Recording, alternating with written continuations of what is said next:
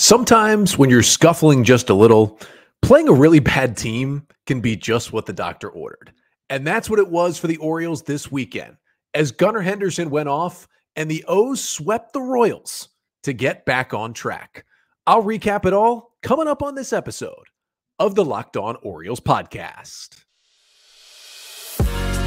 You are Locked On Orioles, your daily Baltimore Orioles podcast part of the Locked On Podcast Network. Your team every day. Hey there, Orioles fans. Today is Monday, June 12th, 2023, and welcome back in to the Locked On Orioles podcast, part of the Locked On Podcast Network. Your team every day. As always, I'm your host, Connor Newcomb. And coming up on today's episode, we are going to recap a huge weekend for the Orioles as they swept the Royals in a three game series at Oriole Park at Camden Yards, have now won four games in a row and are beating up on the bad competition that they have been playing this season. I'll get you my three big takeaways from the Orioles sweep this weekend, having to do with Gunnar Henderson being fully back and going off at the yard this weekend. The Orioles showing with a mix and match of Anthony Santander, Ryan O'Hearn, and Josh Lester that they can still have a good time and produce if Ryan Mountcastle isn't himself. And then finally talk a little about Cole Irvin as he returned to the Orioles rotation on Saturday. But that's all coming up on this episode of the Locked On Orioles podcast. Before we get there, though, just did want to thank you for making Locked On Orioles your first podcast listen of the day. We're free and available on all podcast listening platforms. We're also right here on YouTube as well. Make sure to like, comment, and subscribe to the Locked On Orioles YouTube channel. And to the YouTube listeners and viewers specifically, as you can see here this week, back to the normal background, got the video back, got the graphics up, everything. Thank you so much for bearing with me, being patient for the final three episodes of last week. As I mentioned, I was traveling, just wasn't able to get the full video podcast out, but we are back to the normal video, normal audio, back to everything, back at home here this week with the Orioles. And we thank you for making Locked On Orioles your first podcast listen of the day. For your first listen today, it's an Orioles sweep over the Royals taking game one on Friday night by a score of three to two, coming back out and winning six to one on Saturday. And then the O's completed the sweep with a thumping of the Royals 11 to three on Sunday. And the O's get to 41 and 24 on the season, have now won four games in a row. Still sitting in second because the Rays took a series from the Rangers this weekend and they still play great baseball. But Orioles still with one of the best records in all of baseball. And listen, they beat up on a bad team again this weekend, ended up winning five out of six in the season series against the Royals. And I'm going to get you my three big takeaways from the weekend. And we start with the one that was, well, I would think everybody's biggest takeaway from this weekend is that after a slow start to the season and some rough times for the rookie, Gunnar Henderson is back. This is the Gunnar Henderson we knew that we would see at some point this season. For everybody who wanted to send him down to AAA, thought he wasn't good and he needed to re- regroup or revamp his stuff or whatever it may be. This is the Gunnar Henderson we knew was in there. And he was still productive when he wasn't hitting because he was walking so much. But this is a different player. In the three games this weekend for Henderson, all three were multi hit games. He goes eight for 13 with a double, two homers, and four RBIs. He had seven hard hit balls on the weekend, which means not really any of his hits were cheapies two strikeouts to no walks. And I do want to first pinpoint that, right? Because, first of all, two strikeouts in three games, good to see for Henderson, but also interesting for him not to walk in what was easily his best series of the season. What really kept Gunnar Henderson in the lineup throughout his struggles this year is how much he was walking, the plate discipline, the ability to still get on base at a well over 300 clip, despite hitting 180 for most of the year. And it's interesting to see, well, he didn't walk this weekend, and yet he had his best series of the year. Well, what that tells me is he's still going to walk this year, and it's still going to be a big part of his game. But maybe he just took that aggressiveness to another level this weekend and said, you know what? I'm swinging earlier in counts. I'm going after those pitches I can drive. And the walks are still going to come, but maybe a great weekend without a walk is an even better thing for Gunnar to show, hey, you don't have to get to the fifth, sixth, seventh pitch in the count before you attack. You can attack early and still do damage. And that's exactly what Gunnar Henderson did this weekend. And the month of June has just been really a different player. In seven games in June for Henderson, he is 11 for 24. That is a 458 batting average with a double, four home runs in those seven games, seven RBIs, one walk to five strikeouts, and he has two stolen bases in that stretch as well. He's just been swinging it so well. And really, it's been about a month now that Henderson's been swinging it this well. We sit here on June 12th. If you go back to May 13th, so basically about a month, on May 13th, Gunnar bottomed out at a 170 batting average for the season. That was his lowest it had gotten all year. Since then, he had a one for three the next day, and including that May 13th game, Gunnar is hitting 321 in that stretch with a 10 15 OPS. That's an OPS over a thousand with six home runs in that stretch as well in about a month. He is the player we saw in September last year. Quite frankly, this last month has been better than the player we saw in September last year when he was called up.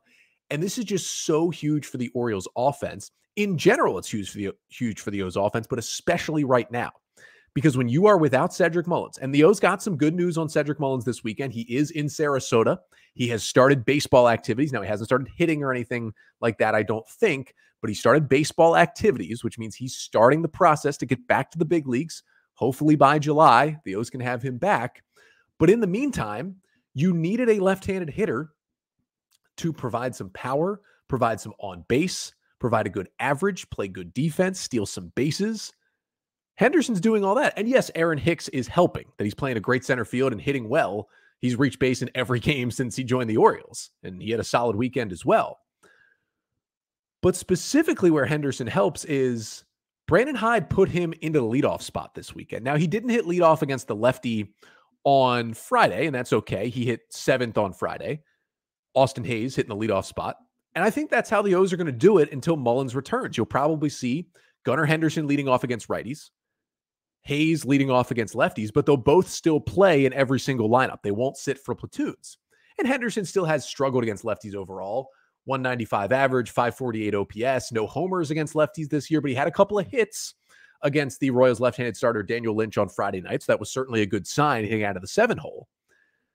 But he just, he looks like a different guy right now. He looks like the guy we know he can be at just 21 years old. And I think he's kind of perfect for the leadoff role. Now, I don't think he'll stay there when Mullins comes back. I do think Cedric Mullins is back in that role. But for now, he seems to be that perfect fill in because, yes, he can get on base, but he can also provide that pop. And so maybe now that he's swinging it this well, maybe you do want to move him down the order just a little bit so he's in RBI chances. But you look at the lineup, Adam Frazier did not do well when he was stuck into that leadoff spot. He kind of started slumping right around when Mullins went down. But if you can get this from Gunnar in the leadoff spot, you can have Adley hit second. Then you got Santander, who's swinging the bat well again, hitting in that three hole. And then you mix and match behind there. I'm liking the look of the top of that Orioles order. And Henderson just seemed like the perfect fit there. And not only did he have this great weekend, right? Getting these key hits, eight for 13, but he played good defense. He was at third base in the game on Friday night, hitting the seven hole in that one, but we got to see him play a little bit of shortstop this weekend as well. We've seen it a little more lately as Jorge Mateo has struggled. He played third on Friday and Saturday, but he got the start at short on Sunday as Mateo got the day off and looked good over there as well. But specifically, I mean, the swing to cap off the weekend, the three run homer in the seventh inning on Sunday that basically put the game away, put the Orioles up 10 to 3 at that time. I was in the ballpark Sunday. I was sitting down the first baseline. That ball had a different sound as it flew out towards Eutaw Street. Henderson hit it 462 feet for a three run homer, 113.8 miles per hour off the bat. And according to Andy Kostka of the Baltimore Banner on Twitter on Sunday, it was the longest home run ever hit to Eutaw Street at Oriole Park at Camden Yards. That is insane. And every time Gunnar does something like that, he just shows us more and more he is a special, special player. That first month and a half of the year, that was not him. That was just him going through a little sophomore slump, guys adjusting to him. He has adjusted back. Major League Baseball, look out. Gunnar's back. Adley's still there. And the Orioles are out for blood this season. But Gunnar Henderson wasn't the only one in the lineup who played a big role this week. And the Orioles actually were missing Ryan Mountcastle, who was out with an illness. And they've kind of been missing him for a while now, as he's been pretty bad over the last month or so. So they had some other guys step in in the lineup and at first base.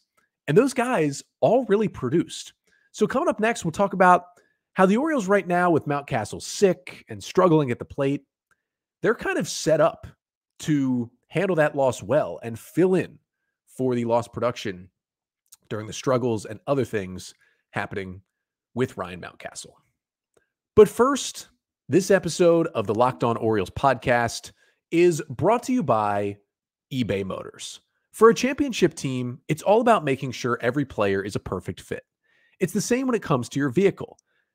Every part needs to fit just right. So the next time you need parts and accessories, head to eBay Motors. With eBay Guaranteed Fit, you can be sure every part you need fits right the first time around. Just add your ride to my garage and look for the green check to know the part will fit or your money back. Because just like in sports, confidence is the name of the game when you shop on eBay Motors. And with over 122 million parts to choose from, you'll be back in the game in no time. After all, it's easy to bring home a win when the right parts are guaranteed. So get the right parts, the right fit, and the right prices on ebaymotors.com. Let's ride. eBay guaranteed fit only available to U.S. customers, eligible items only, exclusions apply. So the Orioles sweep the Kansas City Royals over the weekend, taking all three games to get to 41 and 24 on the season. And I got to say, with the Royals having now lost nine out of 10 and seven in a row, and the Oakland A's, who just went in and swept the Brewers and have now won five in a row, I'm going to say it right now. I know the Royals still have a better record. I think the Royals might be worse than the A's. That's how bad that team looked this weekend.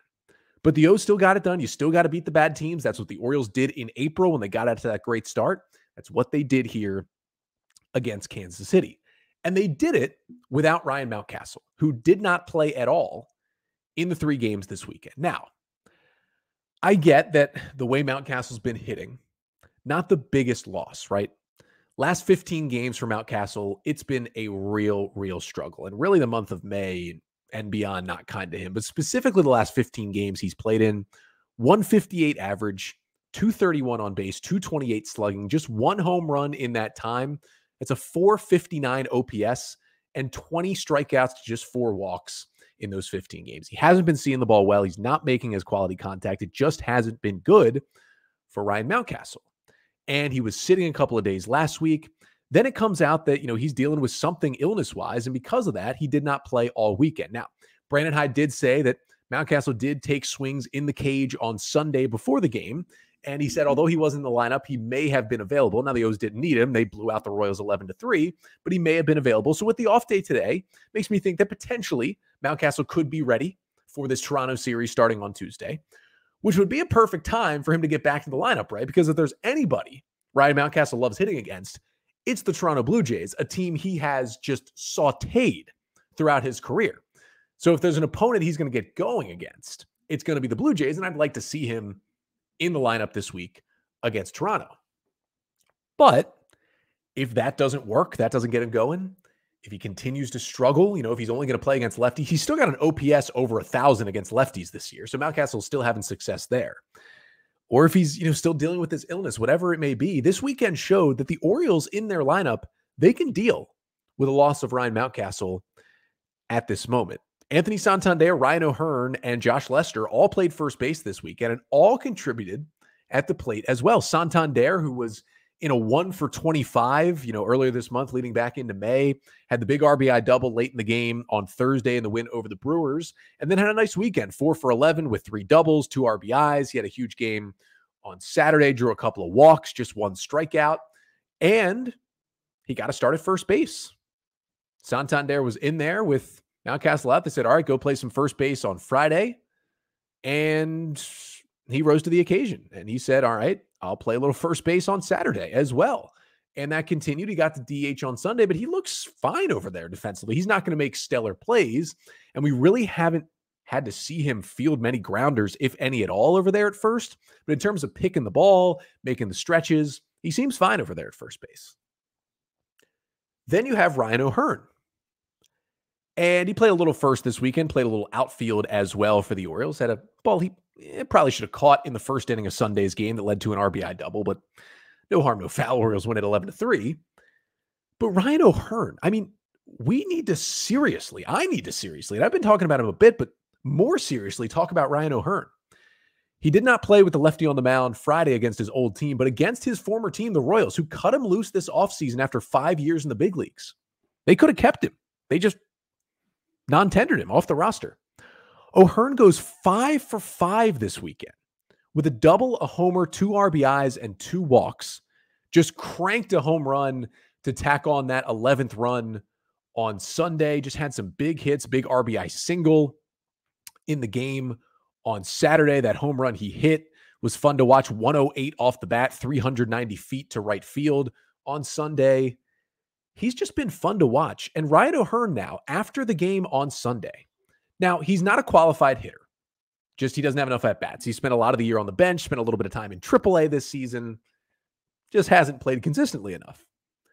But he's now hitting 328 with a 989 OPS. That leads all Orioles. Now, if you were a qualified hitter, he'd be up there near the top of the American League in those statistics, specifically with a 328 average. He's been so good off the bench. And the big thing with O'Hearn is if the Orioles do need to sit Ryan Mountcastle a little longer, maybe they need to have like kind of a platoon where Mountcastle plays against all the lefties and some of the righties, and then O'Hearn plays against rest of the righties and sits against the lefties. I think the Orioles could make that happen because Ryan O'Hearn, whatever change they made, and I've talked about this, you know, he was really struggling at the plate over the last couple of years with the Royals. Whatever change the Orioles made, it has worked. And he is a different hitter. He's hitting for power. He's got a great eye at the plate. He's only swinging at good pitches. You know, the the the big push by the Orioles for those swing decisions apparently is caught up to Ryan O'Hearn in these first couple of weeks with the O's. I mean, Ryan O'Hearn hit fourth for the Baltimore Orioles on Sunday. They put out a lineup with O'Hearn hitting fourth, and I didn't bat an eye. That's how good he's been this season. Now he hit fourth because Adley Rutschman got the full day off, just the second time he's gotten the full day off this year. And of course, Cedric Mullins is injured. But Ryan O'Hearn hitting fourth, and I was like, yeah, okay, that makes sense. And then he went three for three with a homer and two doubles. He scored four runs on the day. I mean, this guy's reaching base all five times. That's insane for a bench guy. The O's basically traded, got nothing, or, or traded him for nothing. They ended up with Ryan O'Hearn for cash considerations after the Royals cut him loose. It was a good job by the Orioles to find Ryan O'Hearn. I don't know if he could sustain this, but this is fun to watch. And then you just got to shout out to Josh Lester. I mean, it, I was a little surprised that the Orioles, you know, when Danny Coulombe returned off the bereavement list last week, that instead of sending Lester back down, they sent Terrin Vavra down and they kept Josh Lester. Now, he can play some other positions, which helps, and he's probably a better hitter than Terrin Vavra, at least for a from a power perspective. And Josh Lester this weekend, three for eight, a couple of RBIs, a strikeout, had a big two run single early in the game on Sunday. Kind of started to, to pad the lead in the third inning for the Orioles. I just really liking what I'm seeing from all these guys. And Lester's not going to be an everyday player, and O'Hearn's not going to play against lefties. But they got a good group right now. So if it continues that it's Mountcastle struggles or it's an illness or whatever it may be, I hope he's he's getting better with whatever's going on there. But if those struggles continue, they've got guys in place. And if Mountcastle heats back up again, which I'm convinced he will, he's been a very streaky hitter his whole career. He'll go on a crazy hot streak. Then you can fit these guys in other places. Santander still plays right. O'Hearn can still DH, play the outfield. Lester can DH for you if you need him. That's the best part, maybe, this Orioles team the versatility and the depth of the lineup. And they showed it off once again in the sweep over the Royals this weekend. But the one thing we haven't talked about so far on this pod is pitching. I mean, you're like, come on, Connor. The Orioles gave up six runs in three games. I know the Royals are one of the worst offenses in baseball, but remember the Royals the last time they played this series? I mean, they had over 20 runs against the Orioles in the three games. They gave up six runs, give them some credit. So, coming up next to finish off the pod, we will talk pitching, specifically starting pitching, and specifically the return of Cole Irvin as a starter for the Orioles as he got the ball on Saturday. So the Orioles swept the Kansas City Royals over the weekend, allowing only six runs in the series. It was a close game that they had to hold on to on Friday. Felix Bautista had a nasty ninth inning, but then they pulled away late Saturday and just completely bludgeoned them on Sunday. And a, and a really good series sweep to look at this team and say, you know what? This Royals team is really, really bad. Let's go after them. And that's exactly what they did. We've talked a lot about the offense, but, you know, they had an 11 run game. You know, I mean, 20 runs in a weekend. That's that's that's a good output. But also to give up only six is very impressive, even when it is a, a struggling offense like the Royals. And my third and final big takeaway from the weekend is that, you know, Cole Irvin, him coming back, and he wasn't amazing, but he was good, just kind of settled this rotation a little bit because since really the struggles of Grayson Rodriguez really started with that, I would say that first series in Kansas City against the Royals when he, you know, didn't make it out of the fourth inning and gave up eight runs, it's been a little unsettled. And then specifically when the Orioles sent Rodriguez down, they did that bullpen game against Cleveland that was a disaster. Then they were able to skip the spot. They were going with four starters for a while. Well, they called up Nick Vespi and, and optioned Bruce Zimmermann on Friday. They didn't use Vespi Friday. Then they optioned Vespi and called up Cole Irvin on Saturday to make the start and return to the Orioles for his fourth start of the year. Now, we know how bad it was early in the season. Orioles trade for Irvin from the Oakland Athletics in the offseason. First three starts, he has an ERA over 10. Orioles send him down to AAA. He marinates down there for a while. He comes up one time in mid May to give them a long relief option. He pitches in one game out of the bullpen in Toronto, goes back down, starts some more games in AAA. And he was good. I mean, he had a 3 2 ERA in AAA Norfolk in seven starts. So he was pitching well. And he returns and just listen, it wasn't like this amazing dominant thing. And he didn't pitch super deep into the game, which is kind of what you get Cole Irvin to do. But it was a great step forward for Irvin, who had been just so bad early in the year. Irvin, in the start on Saturday, goes five and a third innings, allowing one run on six hits. He struck out five, didn't walk anyone, no home runs, threw only 72 pitches, but he did give up eight hard hit balls and he had 10 whiffs in that game on Saturday. Now, I did see a lot of questioning well, why did the Orioles pull him when they did? Well, he had been getting hit hard in the first four innings, had survived without giving up a run. Then he was getting hit real hard in the fifth when the Royals scored their one run against him. And then to the two batters he faced in the sixth, well, they hit him hard too. So even though he was at 72 pitches, Brandon Hyde had a fairly rested bullpen after Tyler Wells had gone six and two thirds innings on Friday night. And even though he didn't have Felix Bautista or Yennier Cano available, pretty much everybody else was on regular rest and ready to go. And Hyde, I think, made the right decision saying, you know what, Irvin's getting hit. If we let this go on too long, I mean, if you remember, it was it was only a four to one game at that point. The Royals could have easily kind of snuck their way back into that thing. And so I thought he made the right decision, and the bullpen did a good job between Bryan Baker, Austin Voth, who struggled a little bit, but then Cionel Perez, a huge five outs, and Mike Baumann locks it down for that six to one win on Saturday. But it was just nice to see Irvin do well. And again, I'm giving this the caveat. You know, this is not a good offense, the Royals. But Irvin was terrible early in the year. Remember, he faced the Athletics, not a good offense either, and they bludgeoned him in his last start before he was sent down. But Irvin goes up there, as I mentioned, 10 whiffs on 41 swings. And the big thing was the sinker. The sinker was a pitch he did not throw super often in his first three starts with the Orioles. But that changed for Cole Irvin in this start. The sinker was his number one pitch that he threw on Saturday. 29 of his 72 pitches, just about 40% were sinkers. Then he went 16 four seamers, 15 changeups, 10 curveballs, and two cutters. And the sinker got four whiffs on it. He was all around the strike zone all day. The four seamer was in the zone as well when he needed it to be. Got a couple of swings and misses on the curveball and the changeup as well. But generally, just a good mix to keep the Royals off balance. And even his velocity was a little bit up on some of his pitches as well from what it was when he was here earlier with Baltimore at the beginning of the season. And I, you know, I, I don't know what the future holds for Cole Irvin this year. Grayson Rodriguez was not called up to make this start because it hadn't been 15 days yet since he was demoted, and there was no player going on the injured list for him to replace, so he couldn't come up for Saturday's game. Now, I believe this Tuesday will be the date that hits where Grayson can come up again. And Grayson was great in his second AAA start since going down. Friday night, he struck out 10 batters over six innings. He had 28 whiffs in six innings, which is just an absurd number. He got a lot of them on all of his different pitches. All five sliders that those AAA hitters swung at Friday night were swings and misses. So his off speed stuff was looking better, using the fastball a lot too, but still the stuff was good. So he's getting closer and closer to, to being ready to come back up. So you will have a Cole Irvin, Grayson Rodriguez question. I do think for now, Irvin probably is going to get at least one more start. I mean, he'd be set up to pitch most likely this Saturday in Chicago against the Cubs. Not a super tough offense to face. And by that time, you'll see one more AAA start out of Grayson Rodriguez. That would give him three since being demoted. And if that one's good as well, you'll have another decision to make potentially, depending on how Irvin pitches in his next start. But for now, at the very least, he settles this rotation a little bit, gives them a fifth starter. They feel like, okay, we can trust you. And maybe now, after five and a third, one run, you just kind of get his feet wet back in the bigs again.